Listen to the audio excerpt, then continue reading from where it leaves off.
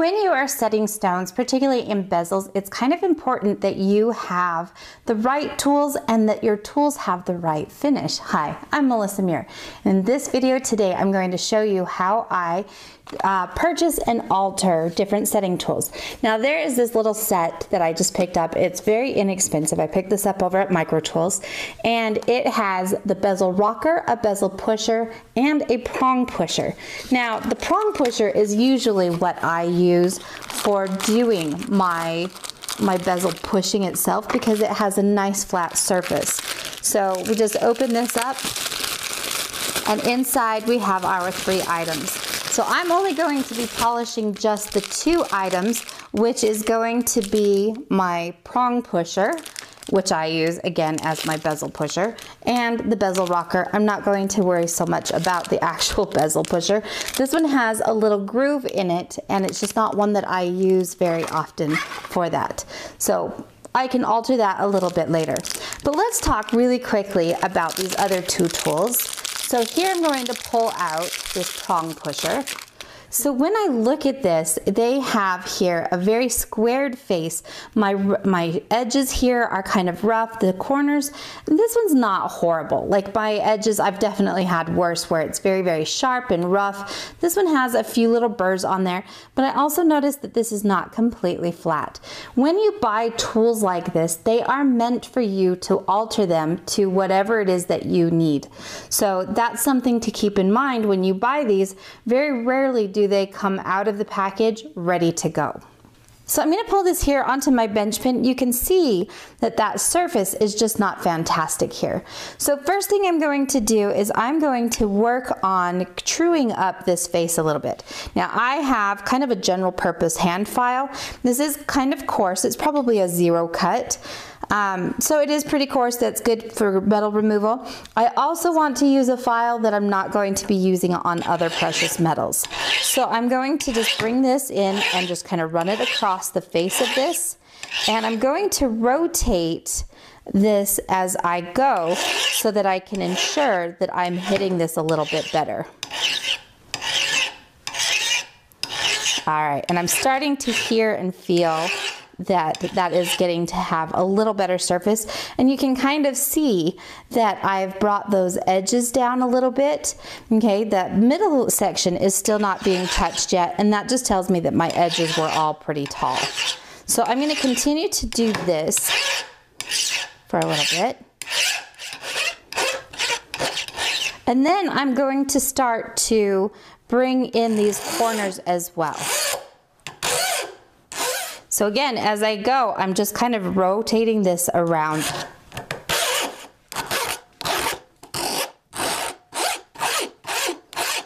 And you can tell when you've removed a burr because things are gonna flow a lot easier.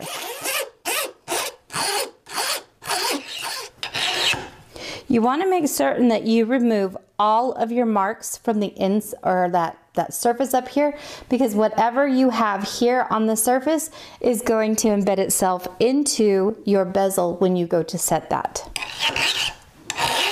Use your fingers to feel this because your fingers will tell you if there's any rough spots or anything that's sharp and still needs to be removed. Like right here, I can feel that there's just a little bit of a burr.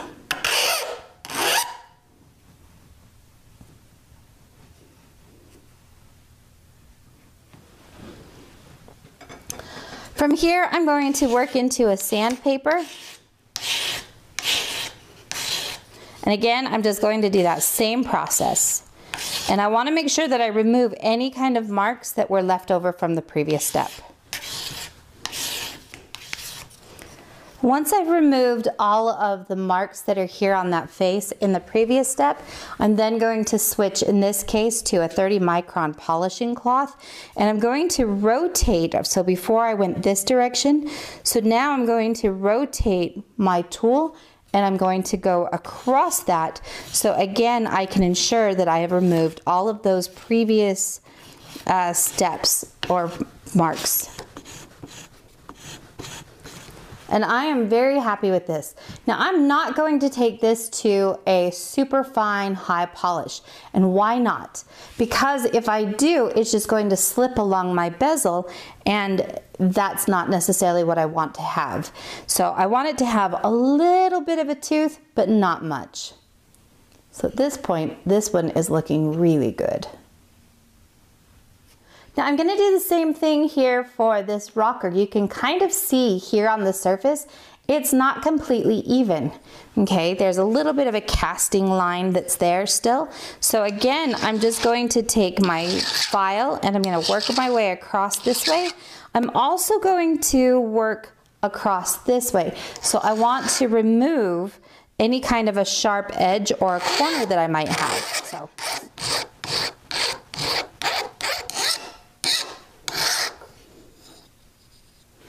Once I'm happy with that, again, I'm going to move to a sanding stick.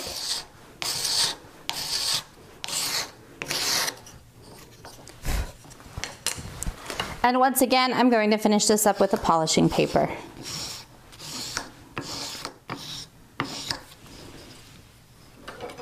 And now we're ready to go. Now the final tool that I use is a burnisher. Now these can be either curved or straight, but a lot of times when they come, this point is extremely sharp and not necessarily really conducive to what we're trying to do with our stone setting.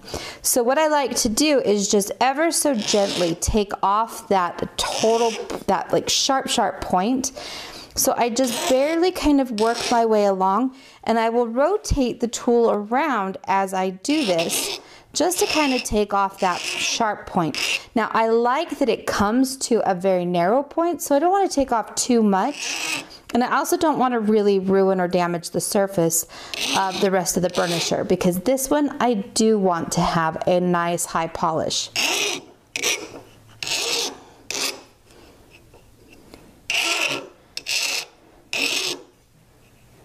Okay, that feels much, much better because we just don't want it to be snagging on our metal. We also don't want it to snag into anything that might be in our stone because sometimes my stones have a little bit of rough where they're open and it can snag onto that.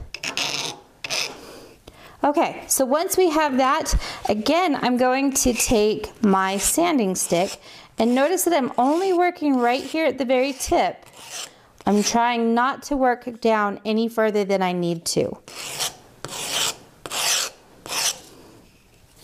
Okay, then next step, again, I'm going to come into my polishing paper. And this one I may give the whole surface a nice go over with the polishing paper. Just make sure that we have a good surface that is ready for a high polish. You want to concentrate especially on those areas that you know you're going to be uh, kind of marking or rubbing up against your metal. Now for a final step on this burnisher, I am going to take this to a high polish. I'm going to do this with my micromotor. So that means I need to take a couple different safety precautions. Number one, my hair needs to come back because I have quite long hair. I'm also going to be wearing a mask as well as my safety glasses.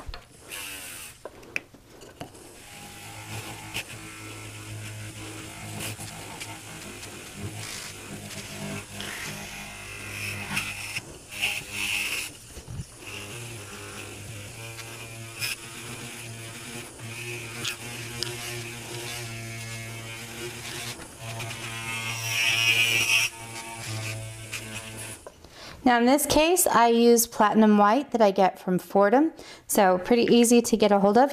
At this point, everything looks really, really good. I would just go clean up any of the polishing compound that is left on this, and we're ready to go. Now, like I said, when it comes to the pusher and the rocker, I don't necessarily want a super high finish on those. I want to have just a little bit of tooth so that it's not just sliding off of my bezel as I set that. However, on the burnisher, I do want a high polish so that it can just glide along. And again, anything that is on your tools as far as any marks or scratches or dents or dings, that is going to transfer to your bezel, something you definitely want to avoid So check that out. Hopefully that helps. If you guys have any more questions on my process for this, just drop me a line down below in the comments. If you like my videos, please give me a thumbs up. Be sure you subscribe and ring that bell so that you get those notifications. We'll see you guys next time.